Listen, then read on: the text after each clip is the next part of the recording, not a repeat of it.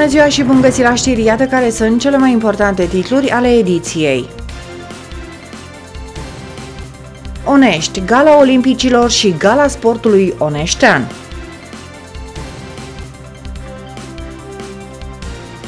La Comănești se organizează anul acesta Festivalul de Urși. PNL Bacău, reducerea vârstei de pensionare cu 2 ani pentru locuitorii din zonele afectate de poluare.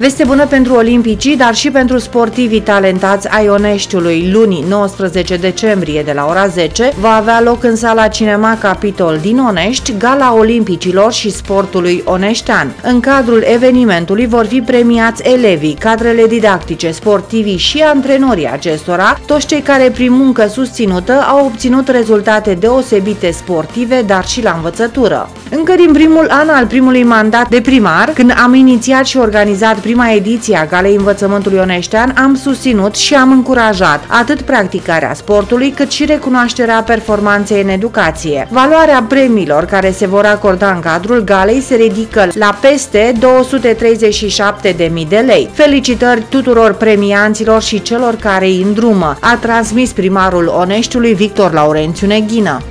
Spectacol de excepție cu tradiții, pregătit de elevii și profesorii Liceului Tehnologic din Onești. Cum reacționează tânăra generație și cât de greu sau ușor au mers repetițiile, aflăm în minutele următoare de la organizatori. Uh, facem această activitate pentru că uh, iubim tradițiile și obiceiurile zonei noastre. Uh, spectacolul care se va desfășura va avea loc pe data de 20 decembrie și va implica majoritatea elevilor de la toate nivelurile de învățământ, atât școală profesională cât și în nivelul liceal. Uh, activitatea se numește Datin și obiceiurile a României de pe Valea Trotușului și ne-am gândit să o desfășurăm deoarece vrem ca generațiile viitoare să iubească obiceiurile, tradițiile, să ducă mai departe uh, ceea ce noi avem ca bogăție culturală și tradițională. Este prima dată când organizați acest eveniment? Uh, în fiecare an organizăm astfel de evenimente, însă pe o scenă atât de mare n-am mai desfășurat activitate de câțiva ani buni. De obicei desfășurăm activitățile în cadrul liceului. Uh, cum au reacționat elevii și din ce clase sunt elevii?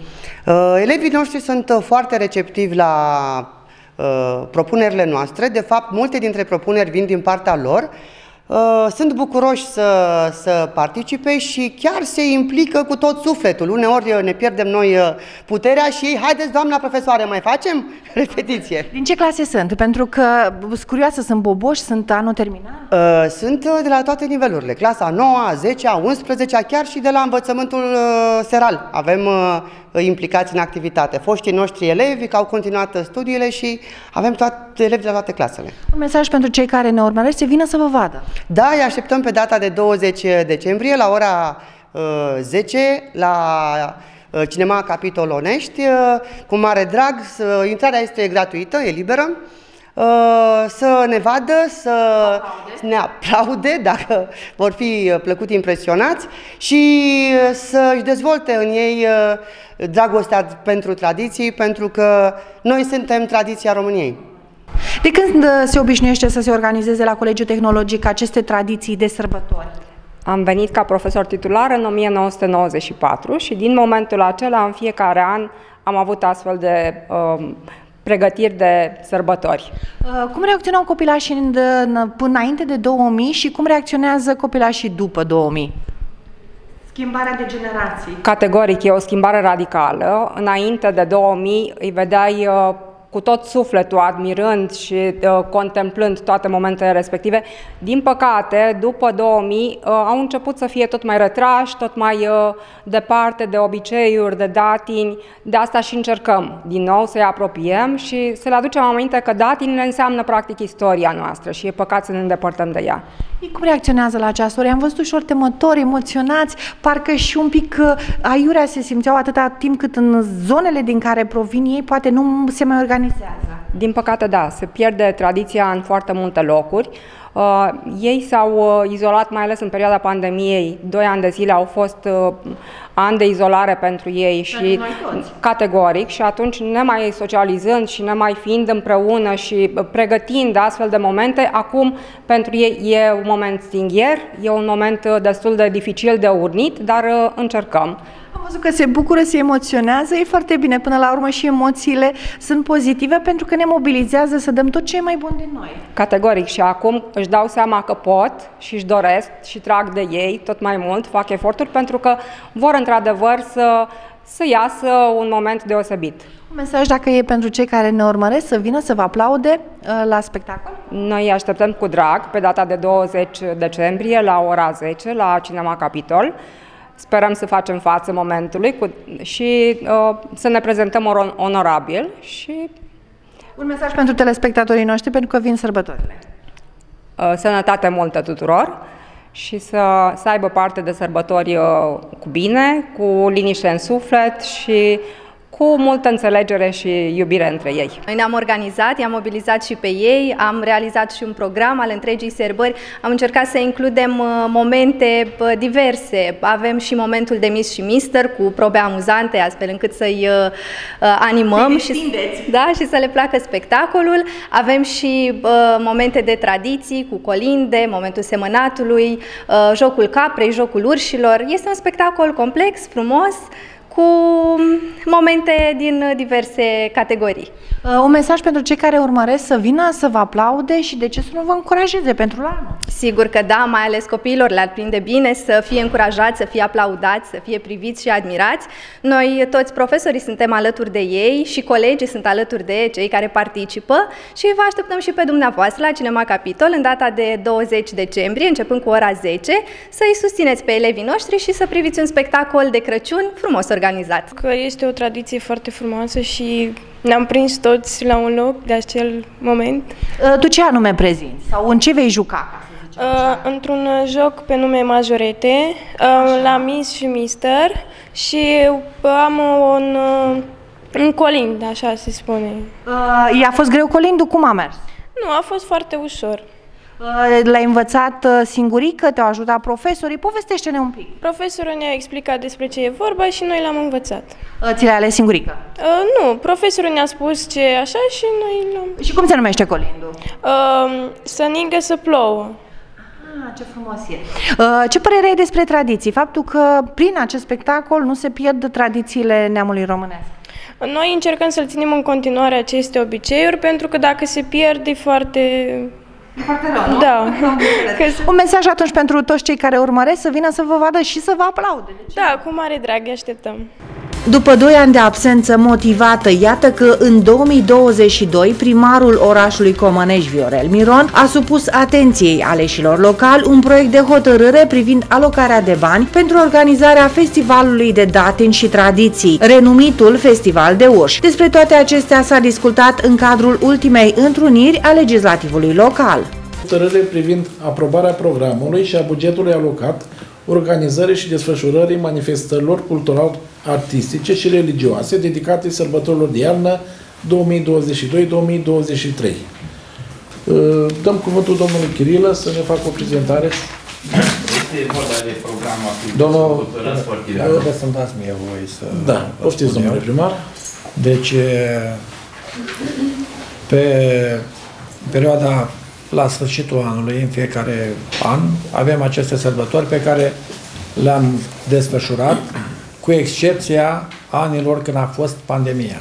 De exemplu, anul trecut, din cauza programului de restricții impus de guvern, nu am putut să desfășurăm Festivalul de date în Strămoșești, care se ține în fiecare an pe data de 30 decembrie. Pentru data de 31 decembrie, anul trecut, guvernul a emis, a facilitat niște uh, posibilități ca să nu se mai respecte acele uh, restricții. Din cauza că era trecerea dintre ani, din cauza că n-aveau cum să mai controleze acest lucru. Dar pe 30 decembrie acele restricții erau obligatorii.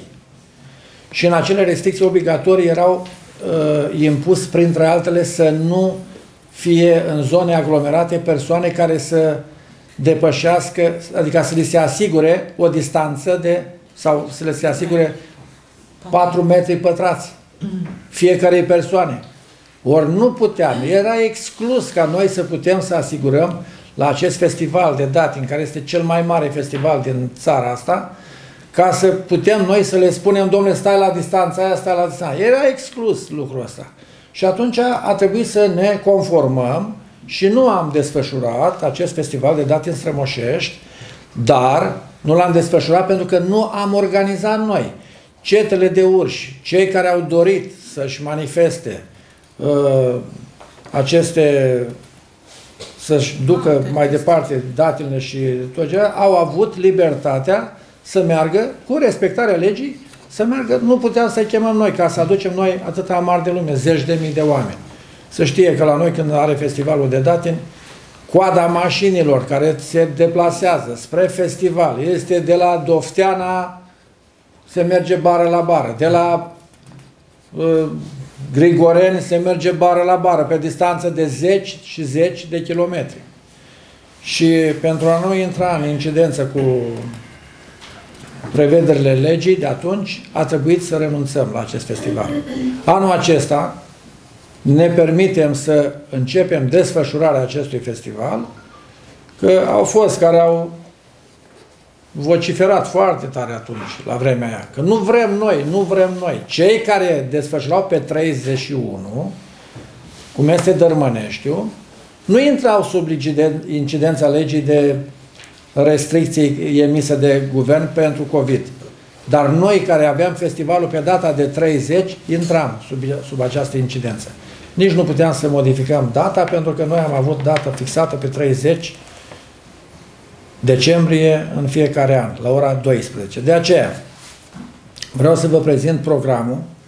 Joi pe 1 decembrie 2022, ora 12, depuneri coroane de flori și uh, comemorarea eroilor neamului la Cimitirul Internațional al Eroilor împreună cu toate oficialitățile din orașul nostru, Consiliul Local, drept pentru care vă invit acum pe toți colegii din Consiliul Local să participați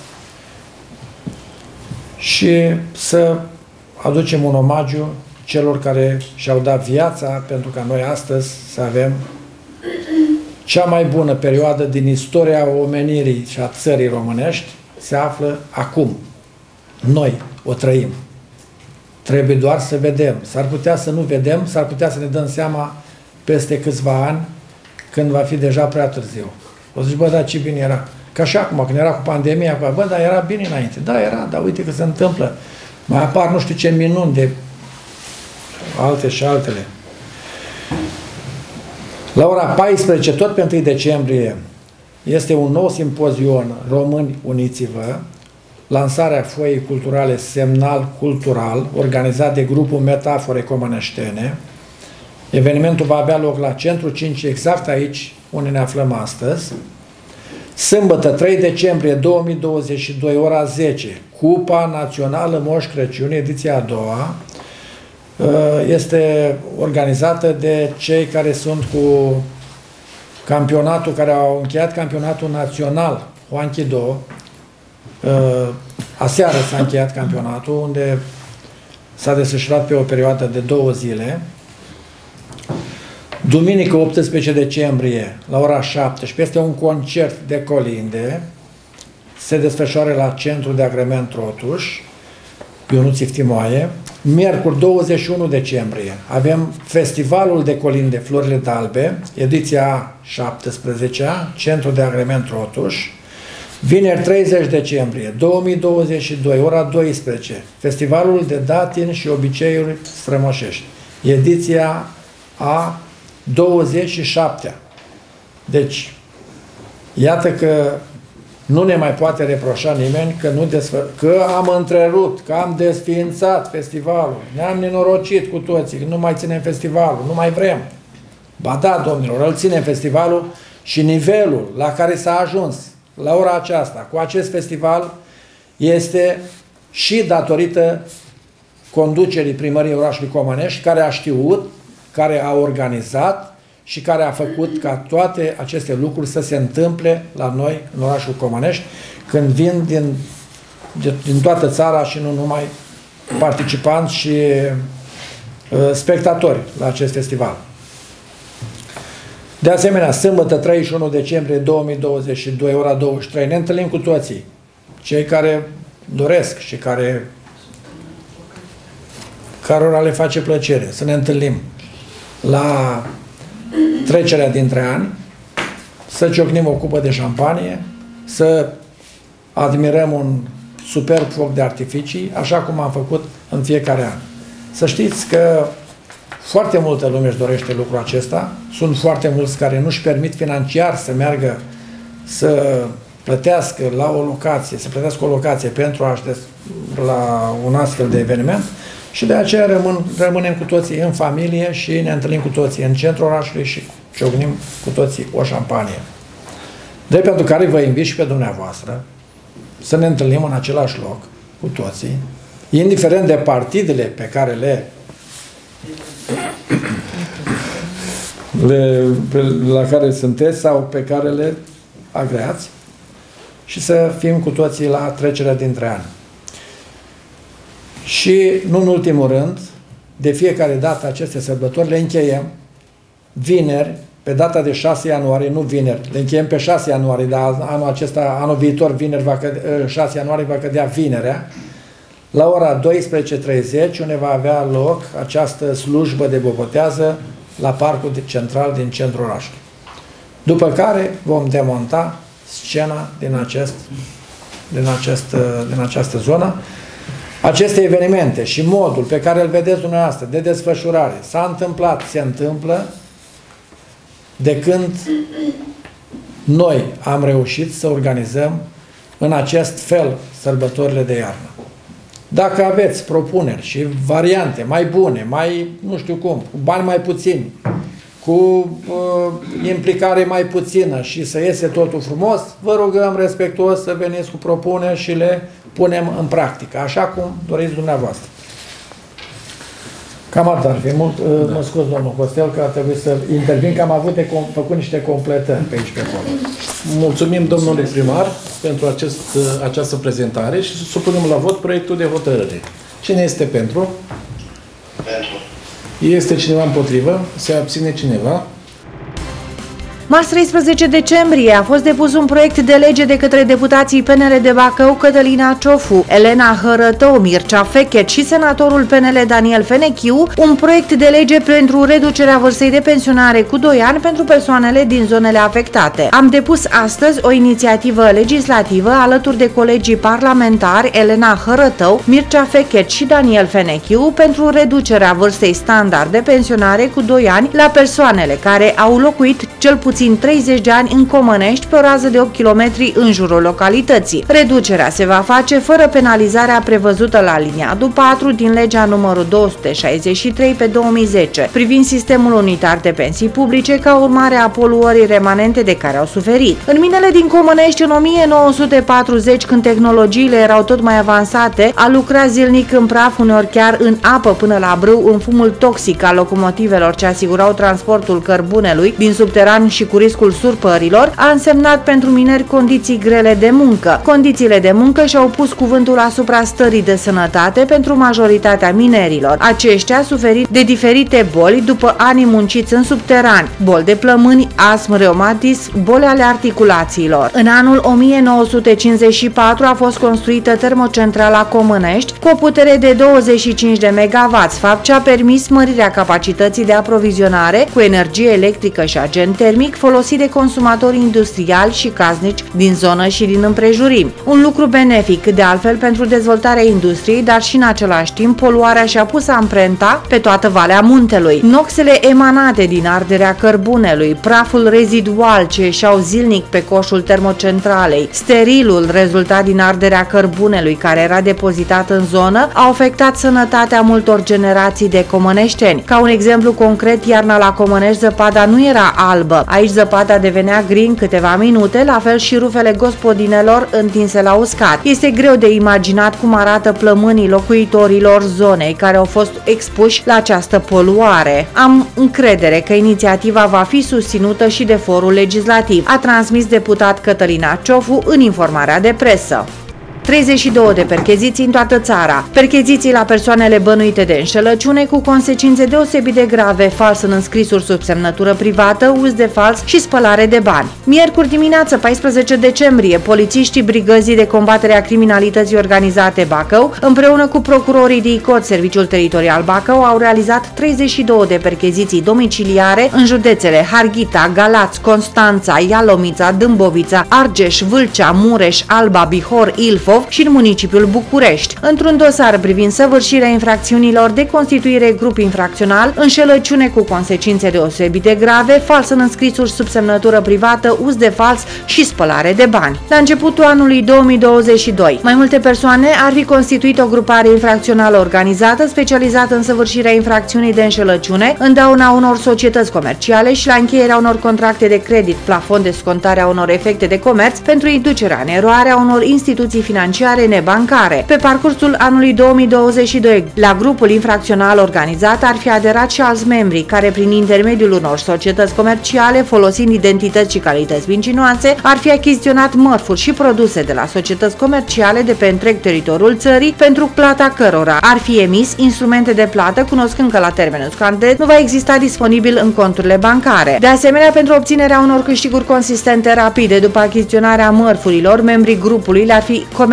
unor persoane fizice sau juridice cu prețuri cuprinse între 30 și 50% din valoarea lor. Prejudiciul stabilit până în prezent este de aproximativ 3.600.000 de lei, în dauna a 25 de persoane juridice vătămate. Operațiunea a beneficiat de suportul de specialitate a Direcției Operațiuni Speciale din cadrul Poliției Române. La activități au participat și polițiștii din cadrul Brigăzilor de Combatere a Criminalității Organizate și Serviciul de Combatere a Criminalității din Galați, Ploiești, Alba, Pitești, București, Mureș, Oradea, Constanța, Ilfov, Neamț, Ialomița, Dâmbovița și Vâlcea. Acțiunea a fost susținută de luptătorii din cadrul Brigăzii Speciale de Intervenție a Jandarmeriei, jandarmei grupărilor de jandar mobile din Bacău, Constanța și Târgu Mureș și a inspectoratelor de jandar județene din Harghita, Dâmbovița, Ialomița, Vâlcea și Argeș. Persoanele cercetate beneficiază de drepturile și garanțiile procesuale prevăzute de codul de procedură penală, precum și de prezumția de nevinovăție.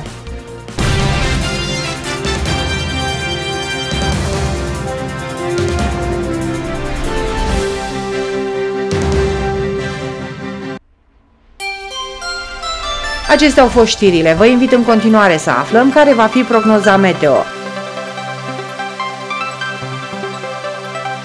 Joi 15 decembrie, cerul va fi în cea mai mare parte senin, sunt posibile ploi ușoare dimineața, mercurul în termometre urcă până la valori de 6 grade Celsius pe timpul zilei, iar noaptea minima coboară până la minus 1 grad Celsius. Vineri 16 decembrie, cerul va fi acoperit de nord dimineața, maxima zilei ajunge până la valori de 7 grade Celsius, iar noaptea minima coboară până la 3 grade Celsius.